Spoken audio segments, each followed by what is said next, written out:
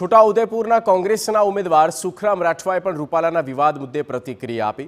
સુખરામ રાઠવાએ કહ્યું કે કોઈ પણ સમાજની લાગણી દુભાય તેવું નિવેદન ન આપવું જોઈએ. આવા નિવેદનનું પરિણામ જે તે ઉમેદવારે ભોગવવું પડે છે. સુખરામ રાઠવાએ વિશ્વાસ વ્યક્ત કર્યો કે ગામડામાં કોંગ્રેસ મજબૂત સ્થિતિમાં છે અને જીતશે. સુખરામ રાઠવાએ નર્મદાના રાજપીપળામાં કોંગ્રેસના કાર્યકરો સાથે બેઠક કરી, જેમાં કોંગ્રેસના હોદ્દેદારો, યુથ કોંગ્રેસના કાર્યકરો, સેવાદળના હોદ્દેદાર ઉપસ્થિત રહ્યા હતા.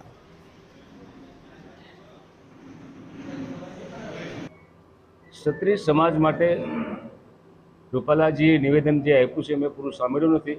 પણ કોઈક સમાજને નીચું દેખાડવાનો પ્રયત્ન નહીં કરવો જોઈએ. આખરે તો સમાજ છે. અને જ્યારે સમાજ એકત્ર થઈને જો એની સામે બાદ ભીડતો હોય છે, ત્યારે એનું પરિણામ જે તે ઉમેદવારને ભોગવવું પડતું હોય છે. કોંગ્રેસે પીઢ નેતાને ઉતાર્યા છે મેદાનમાં. ત્યારે ભાજપ પાસે કહો નિહાળ્યો, તો તમારી જીતની આશાવાદ કેટલા લેટ? કોંગ્રેસે પીડ નેતા એવું નહીં, પણ કોંગ્રેસે કાર્યકરને ઉતાર્યો છે એમ કહીએ. જસુભાઈ રાઠવા પણ કાર્યકર છે. કોંગ્રેસ અને ભાજપના બંને કમતીદર ઉમેદવારો ઉતારે છે એમ કહીએ ચાલે.